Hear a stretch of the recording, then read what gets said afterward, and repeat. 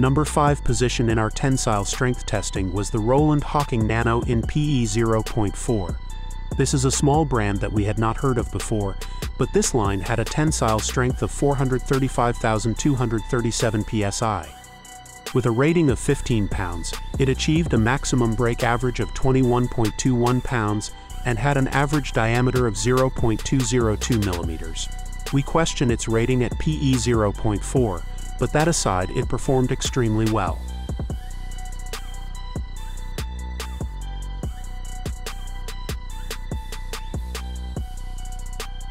The W10 Coastal Braid from Weston came in at number 4 in the tensile test. We tested the PE 0.4 variant, and we calculated the tensile strength as 442,534 psi. Overall, this was a high-performing line, however under close inspection we did find some very consistent blemishes on the surface. These were not detectable by the naked eye, nor could they be felt. We are unsure if this will affect the overall performance of the line in real-world use, but it is worth noting.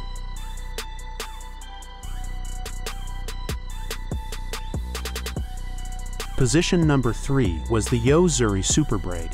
The 30-pound braid rated excellent in the tensile test with a result of 443,049 psi, however it fell short in other areas. Being an X4 braid, it does have a very large diameter variation, and the actual maximum break was over 200% of its rated 30 pounds, which is worth noting if this is a line you are looking at using.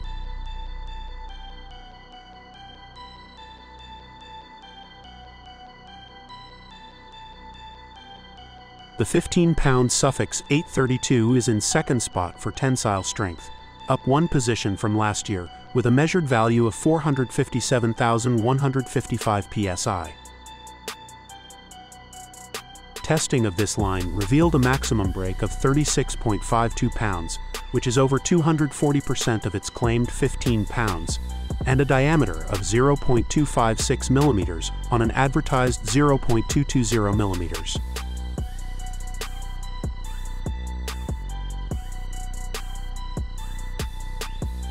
Taking home the top spot in outright tensile strength is the Varivas 8 braid in PE2. This is the replacement for the superseded Varivas high grade, and this sample achieved 463,626 psi. An extremely high quality and accurately rated line, it had a maximum break of 38.36 pounds on a rating of 37 pounds. Diameter is also very accurate, which we measured at 0.262 millimeters, on an advertised diameter of 0.242 millimeters.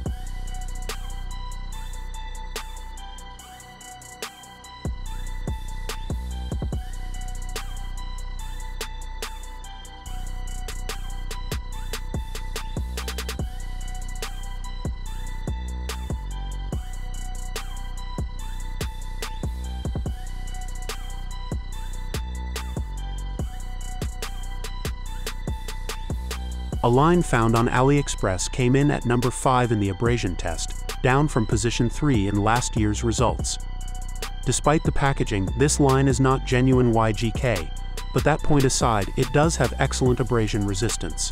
The example we tested was rated at PE 0.8 or 16 pounds and achieved a maximum break of 15.6 pounds, the results for the abrasion test produced a solid result of 7.09 pounds or 45.45% of its maximum strength. Diameter was determined to be 0.215 millimeters, with a high deviation of over 30%.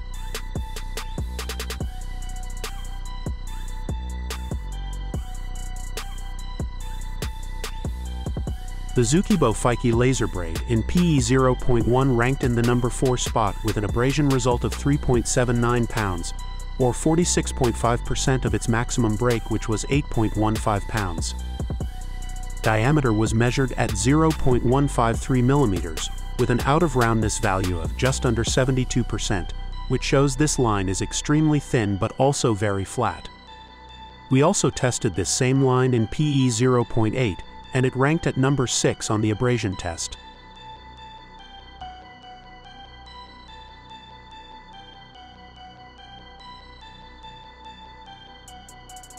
position number 3 was the Ice Tech by Power Pro, down one spot from the previous year. We were provided with the 5-pound version of this line, and found it to maintain 46.86% of its ultimate strength in the abrasion test. It's worth noting that even though this line is rated at 5 pounds, we measured its maximum strength at over 15 pounds, so more than three times its rating.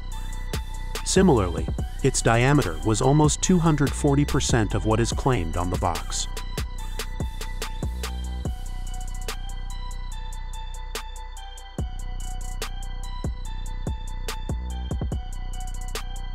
The second Zukibo line to make it into the abrasion top 5 was the Fire FT, which claimed second spot. This fused line exceeded the 50% mark with a result of 51.52%, or 11.73 pounds on a maximum break of 22.77 pounds. Under high magnification, we determined the average diameter to be 0.224 millimeters, which is 115% of the claimed 0.2 millimeters.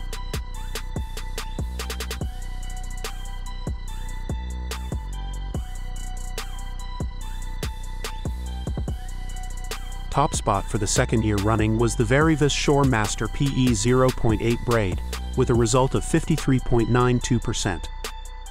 This braid was rated at 16.7 pounds, but maximum break was found to be 10.72 pounds, which is only 64% of its rated strength. Diameter was measured to be an average of 0.199 millimeters, with a small deviation of 10%. This is around 130% of the suggested thickness.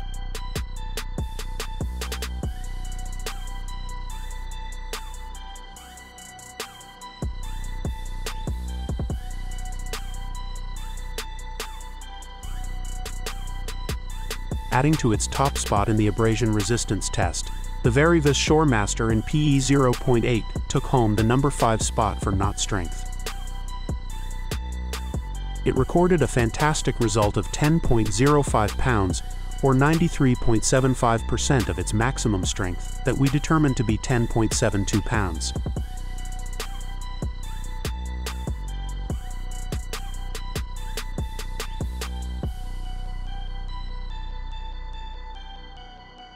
The My Fine Demon Strong line in 20 pound landed in fourth place in the FG test. We are yet to publish the full review video on this line, but during the FG test it achieved an average break of 18.52 pounds, or 94.54% of the maximum break, which was 19.59 pounds. The line diameter was measured at an average of 0.25 millimeters, which is 208% of the claimed 0.12 millimeters.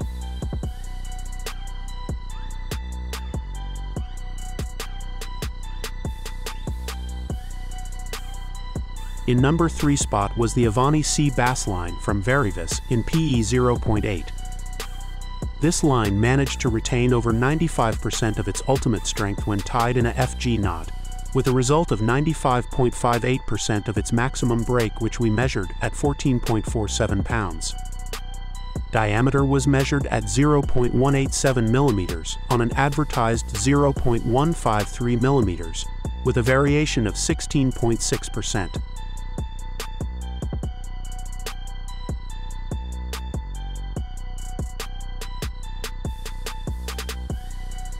Another line that is making a second appearance is the Ice Tech by Power Pro, down from its top spot last year.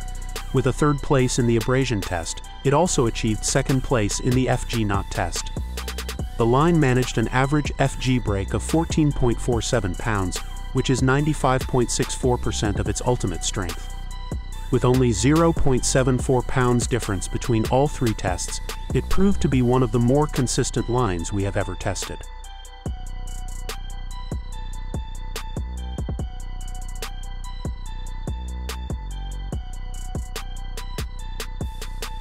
Taking top spot in the FG knot test was the Microfly line in PE 0.2 by Kingdom.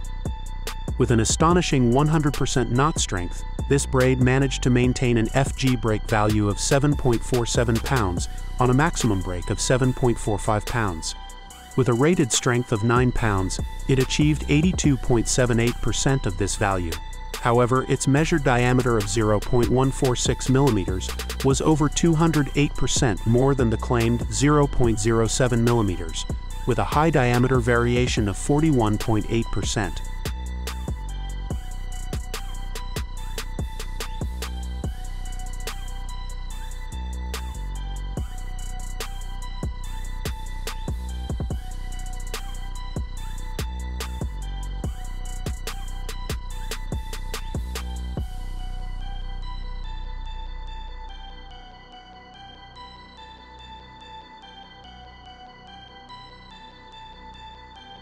First up is the Weston W10 X13 Coastal Braid. With a fourth place in the outright tensile strength test and some solid results in the other tests, this braid reached number 5 position in our overall top braids with a final score of 89. The line featured here is rated at a PE 0.4 or 13 pounds according to Weston, which we found to break at 13.65 pounds and had a diameter of 0.16 millimeters.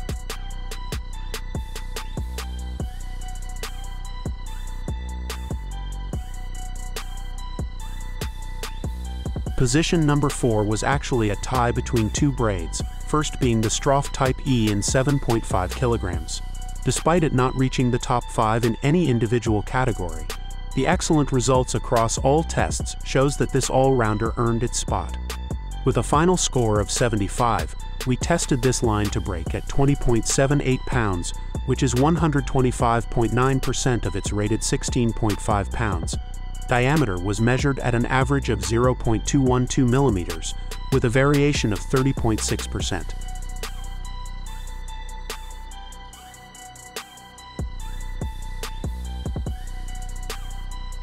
In equal fourth was the Viribus nanobraid by Roland Hocking in PE 0.4. This braid came in fifth in the tensile test for currently available braids, and had strong results in the other two tests.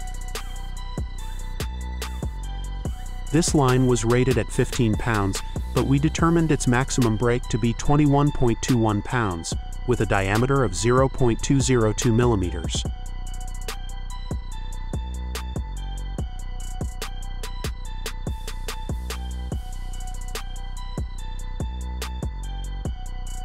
The Varivas 8 line in PE 0.6 took home the number 2 spot in our best braids. The PE2 version of this line ranked top in the tensile strength test, but its smaller brother didn't rate quite as high. Despite the fact that this braid didn't reach the top 5 in any individual category, the exceptional results across the board allowed it to secure its spot in the top braids. We measured this line to break at 12.09 pounds on a rating of 13 pounds and a diameter of 0.152 millimeters.